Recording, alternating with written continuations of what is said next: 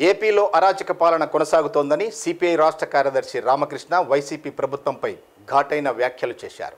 Assembly సాక్షిగా CM Jaganmohan Reddy ప్రకటించిన శాసన మండలి రద్దు నిర్ణయాన్ని వ్యతిరేకిస్తూ జిల్లా కేంద్రంలోని సిపిఐ కార్యాలయంలో రామకృష్ణ విలేకరులతో మాట్లాడారు.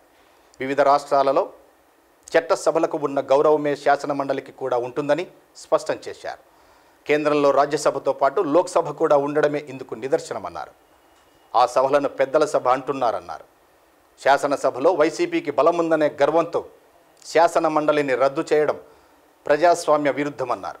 ఏపీలో పెద్దల సభను రద్దు చేయడం సమంజసం కాదని ప్రభుత్వం పునరాలోచించుకోవాలని హితవు పలికారు.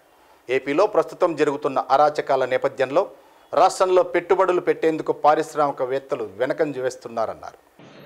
ఇవాళ రాష్ట్రంలో మరి ఒక అరాచక పాలన కొనసాగుతారు ఎంత అరాచక పాలన అంటే ప్రజలు ఎవరు ఏమి చెప్పినప్పటికీ అల్టిమేట్గా చట్టసభల్లో అయ్యే తీర్మానమే ఫైనల్గా ఉంటుంది ఈయన మూడు రాజధానుల పేరుతో మూడు రాజధానులు అన్నాడు దాన్ని అసెంబ్లీలో తీర్మానం చేశాడు.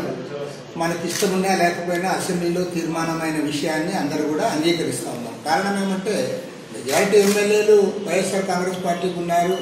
జగన్మోహన్ రెడ్డి గారికి మెజారిటీ ఉంది కాబట్టి తను అనుకున్న దాన్ని వారి మంత్రివర్గంలో కూడా ఒప్పింపజేసి ఆయన అసెంబ్లీలో తీర్మానం చేశాడు అదేవిధంగా అసెంబ్లీకి ఏ రకమైతే అధికారాలు ఉన్నాయో. లెజిస్లేటివ్ కౌన్సిల్ కూడా కొన్ని అధికారాలు ఉన్నాయి. వాస్తవానికి అదే పెద్దల సభ. ఇవాళ పార్లమెంట్లో కూడా ఉభయ సభలు ఉన్నాయి. లోక్సభ రాజ్యసభ.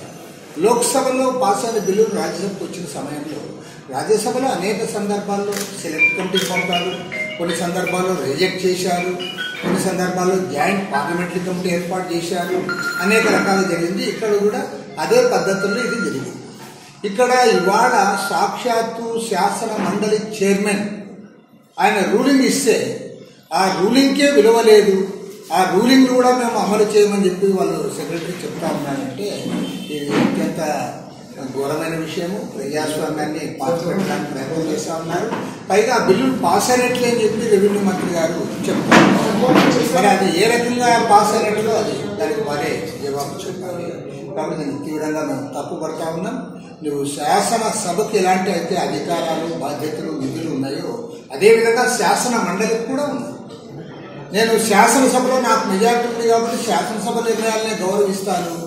శాసన మండలిలో నాకు మెజారిటీ లేదు ప్రతిపక్షాలకు మెజారిటీ ఉంది కాబట్టి నేను దాన్ని గౌరవించనంటే అది